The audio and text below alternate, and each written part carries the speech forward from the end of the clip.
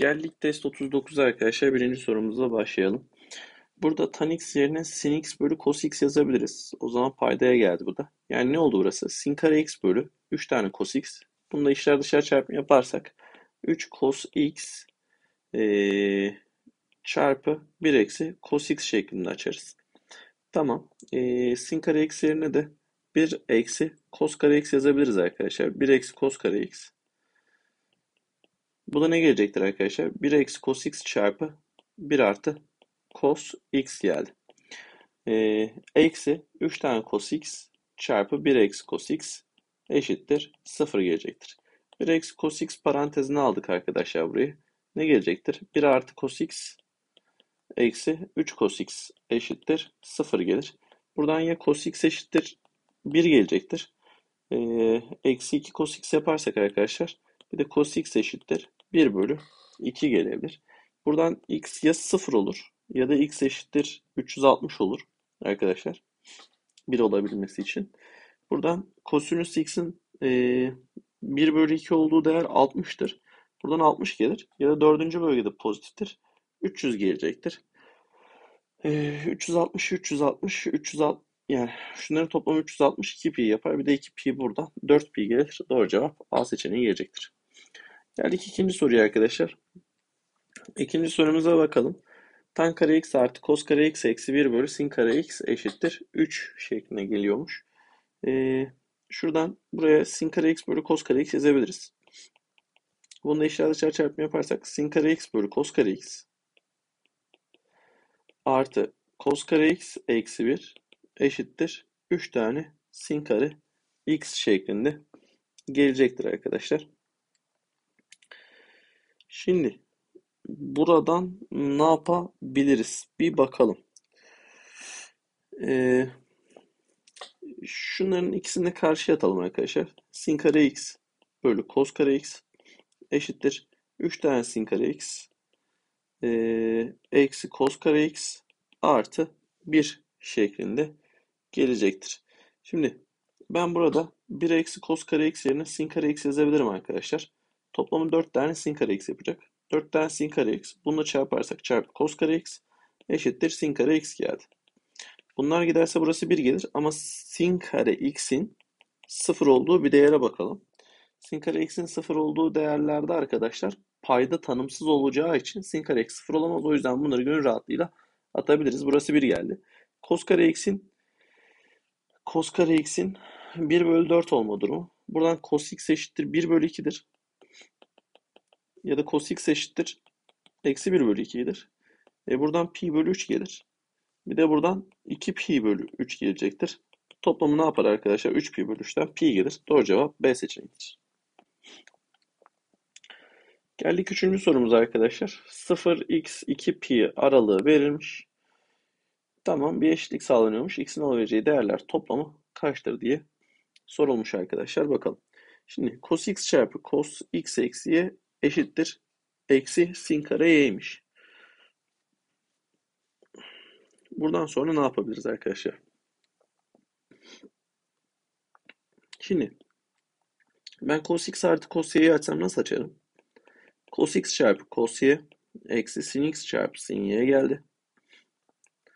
Çarpı cos x çarpı cos y artı sin x çarpı sin y eşittir. Eksi sin kare y şeklinde gelecektir. Şimdi burası a, burası b olsa, burası a, burası b olsa iki kare farkı şeklinde gelir bu da.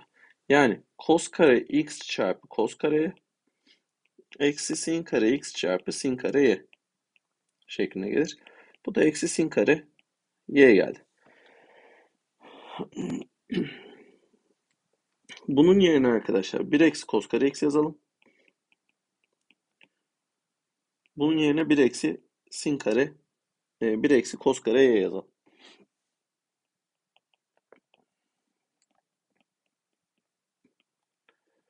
Buradan sonra arkadaşlar buradan sonra şuraya dağıtacak olursak 1 eksi cos kare x 1 eksi cos kare x eksi cos kareye artı cos kare x çarpı cos kare y şeklinde geldi. Şimdi Buradan işlemimizi düzenleyecek olursak ne gelecektir arkadaşlar? Eksi 1 artı kos kareye artı kos kare x eşittir eksi sin kare y geldi arkadaşlar. Şimdi bunu karşıya atarsak arkadaşlar eksi 1 gelir. Bunun nobu gidecek. Kos kare x eşittir 0 gelir. Buradan x ya 90 gelecektir. Yani pi bölü 2 ya da x eşittir 3 pi bölü 2 gelir. O zaman pi bölü 2 ile 3 pi bölü 2'nin toplamı E seçeneği gelir. Doğru cevap E seçeneğidir. Geldik dördüncü soruya. Dördüncü sorumuza bakacak olursak arkadaşlar ne gelecektir? Bakalım. Sin 2x yerine 2 sin x çarpı cos x. Bir yerine de sin kare x artı cos kare x yazabiliriz. O zaman burası ne gelecektir arkadaşlar? Sin x artı cos x'in parantez karesi yani mutlak değer sin x artı cos x olarak çıkar dışarıya. Artı sin x eşittir. 1 artı 2 sin x çarpı cos x olarak gelmiş oldu. Peki arkadaşlar. Birinci her ikisi de pozitif olduğu için artı çıkar. Bir sin x, bir sin x daha 2 sin x artı cos x eşittir 1 artı 2 sin x çarpı cos x gelecektir. Şimdi hepsini karşıya atarsak arkadaşlar bir de 2 sin x eksi 1 parantezini alalım. 2 sin x eksi 1 parantezini alırsam 1 eksi cos x gelecektir. Buradan sin x ne gelir arkadaşlar? 1 bölü 2. Buradan cos x ne gelecektir arkadaşlar? 1. Cos x'in 1 olduğu değer. Bir 0 değerimiz var. Birinci bölgede. Bir de 1 bölü 2 olduğu değerimiz pi bölü 6 değerimiz var sinüsün. Pi bölü 6 ile 0 toplarsam pi bölü 6 A seçeneği gelecektir arkadaşlar. Geldik 5. sorumuza. 5. sorumuza bakalım. Cos x küçük eşittir. Cos küp x küçüktür. Cos kare x eşitsizliğini sağlayan x değerlerinin bulunduğu en geniş aralık aşağıdakilerden hangisidir diye sorulmuş.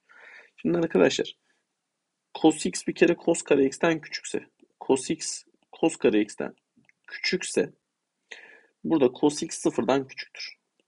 Bunu söyleyebiliriz. Peki arkadaşlar cos x aynı zamanda cos küp x'ten küçükse o zaman eksi 1 ile 0 aralığında olmalı. E, peki arkadaşlar e, cos x sıfırdan küçüktü. Eksi 1 ile de 0 aralığında. O zaman ne yapacağız arkadaşlar?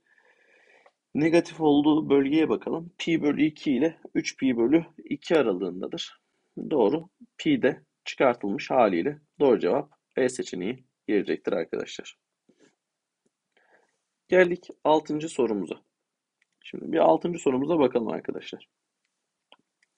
Ne diyor? Yukarıdaki koordinat düzleminde ABC absisli noktalarla kesişen sin kare x ve cos 2x artı 1 fonksiyonların grafikleri verilmiştir. Tanar çarpı kod B ifadesi nedir diye sorulmuş. Şimdi arkadaşlar ikisinin ortak kesişimlerine bakalım. Biraz şöyle yukarıya doğru yazayım. Ne diyeceğiz? Sin kare x eşittir cos 2x artı 1 gelmeli. Peki arkadaşlar bunu karşıya atarsam eksi 1 artı sin kare x geldi. Ben bunun yerine eksi cos kare x yazabilirim. Bu da neye eşit geldi? Cos 2x eşit geldi. Bunu da cos kare x şeklinde açsam 2 cos kare x eksi 1 derim. E bunu karşıya atarsak 3 tane cos kare x eşittir 1 gelir. Cos kare x eşittir 1 bölü 3'müş. O zaman buradan cos x eşittir ya 1 bölü kök 3 ya da cos x eşittir eksi 1 bölü kök 3 şeklinde gelecektir. Şimdi arkadaşlar 0 ile 90 aralığında olduğunda A'yı bulacağız. 90 ile 180 aralığında B'yi, 180 ile 2 pi aralığında da C'yi bulacağız. Şimdi gerçi C'ye de hiç gerek yokmuş. Hemen onu kaldırdık aradan. Peki buradan sonra bulalım. Çizdik bir tane üçgen. Şurası x oldu. Peki arkadaşlar 1 kök 3 burası da 2 geldi. Peki arkadaşlar tan x dediğimiz yer yani şu a tan a değerine gelecektir arkadaşlar buradan. Kök 2 geldi. Çarp. Şimdi kod b'ye bakacağız. Onu da çizelim. B dersek 1 kök 3 2 geldi. Kök 2 geldi arkadaşlar. Burası da kök 2. Özür dilerim. Orayı düzeltmemişim.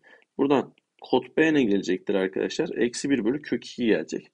Eksi 1 bölü kök 2 ile çarptık. Bunlar giderse eksi 1 gelir. Doğru cevap D seçeneğidir.